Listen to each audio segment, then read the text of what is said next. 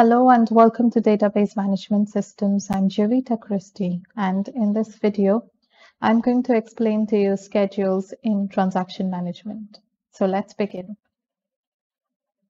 First of all, we'll see what schedules are and we'll see an example of a schedule.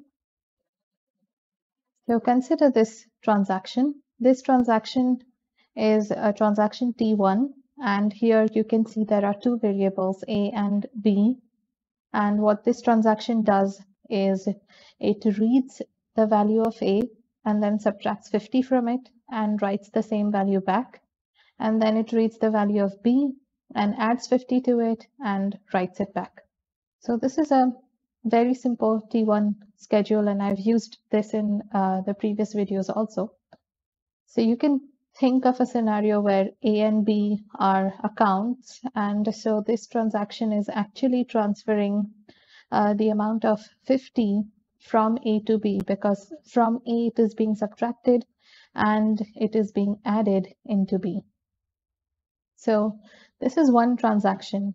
Now I have another transaction, which is transaction T2. And in transaction T2, uh, what is happening is there's a 10% uh, deduction from A, which is then added to B.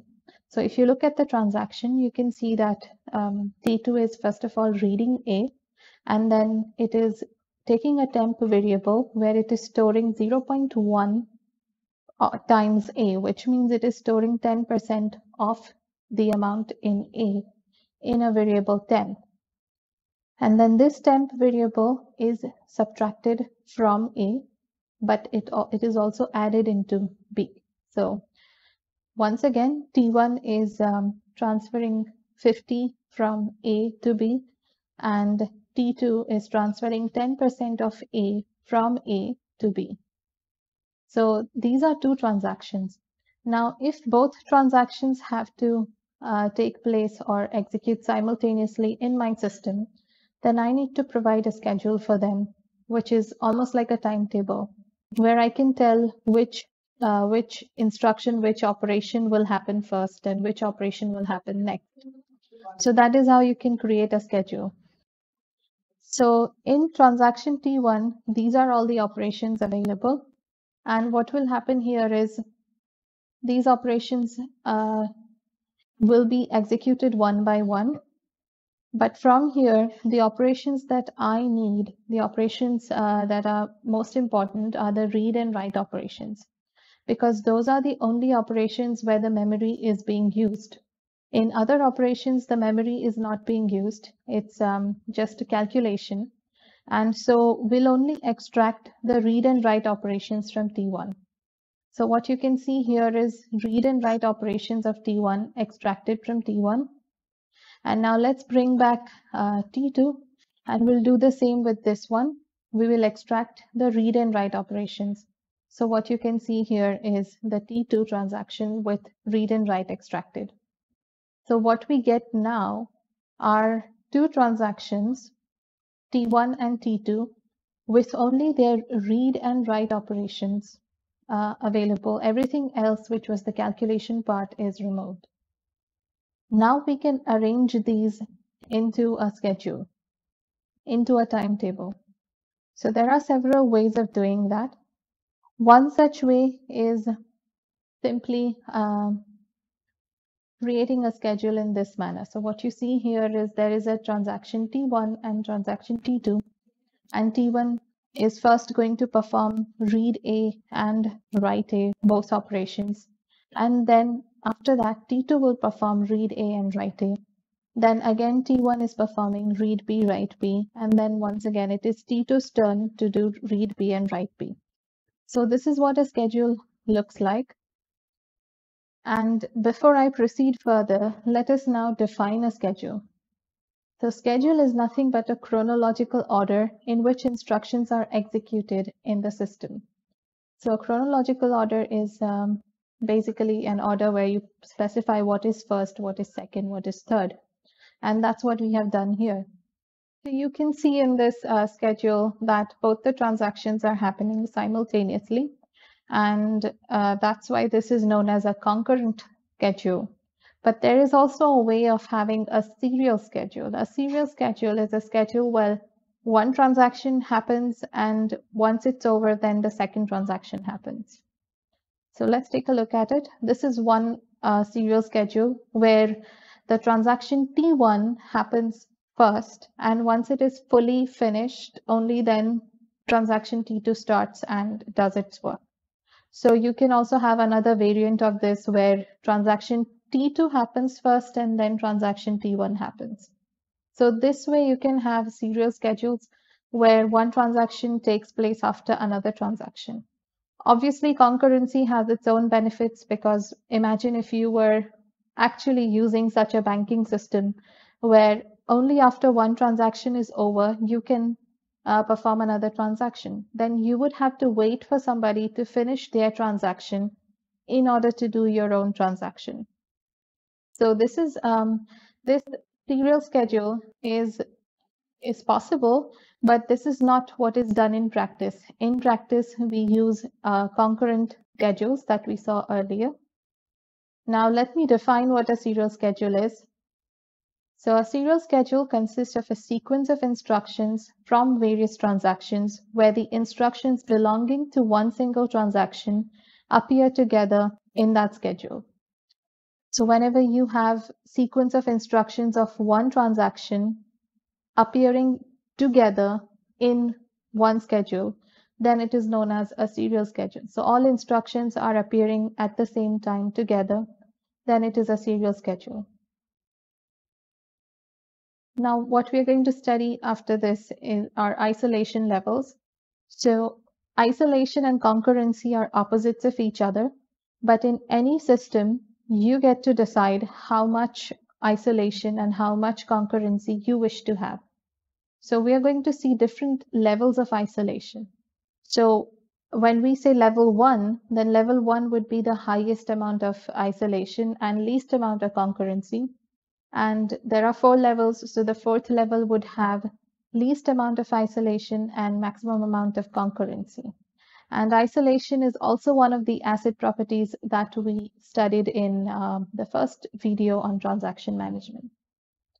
So the first isolation level is known as serializable level.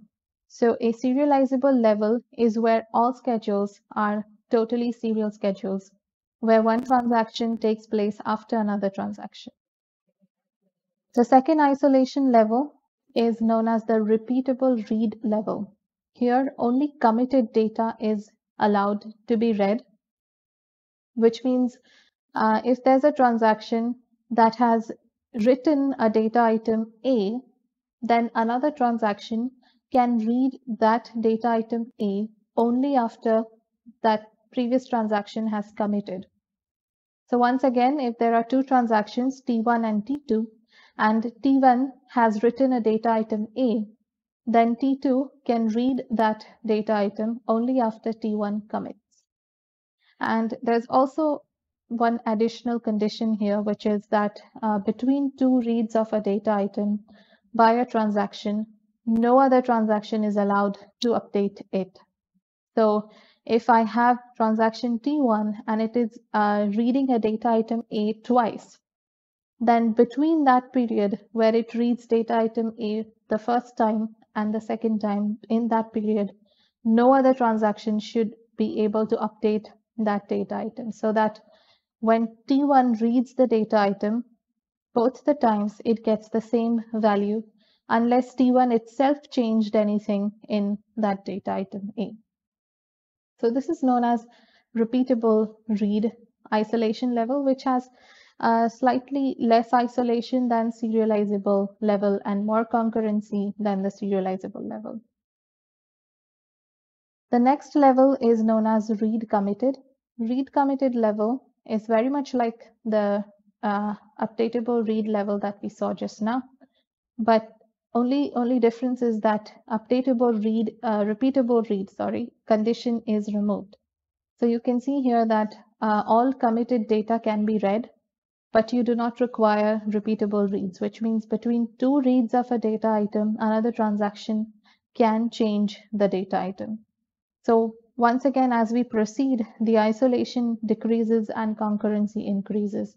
And so our fourth level is where there is maximum concurrency and very little isolation. So it is also the lowest isolation level which is allowed by SQL. And it is known as read uncommitted. This allows uncommitted data to be read.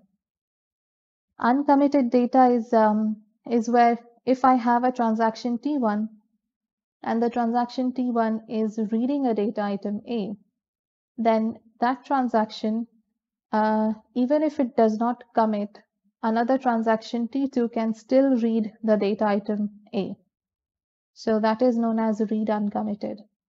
And those are the four isolation levels that we have in SQL or in DBMS in general. Now we're going to see two more types of schedules. We've already seen serial schedules and concurrent schedules. Now we are going to see recoverable schedules and non-recoverable schedules, uh, which are opposite of each other. And we are also going to see cascading schedules and cascadeless schedules. So let's take a look at recoverable schedules.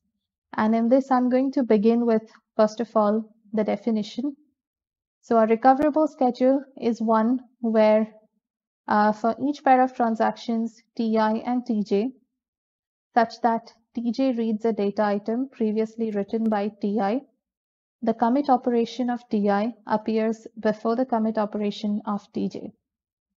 So whichever transaction is uh, writing the data item and whichever transaction, so there are two transactions writing, one is writing, another one is reading the same thing written by that transaction.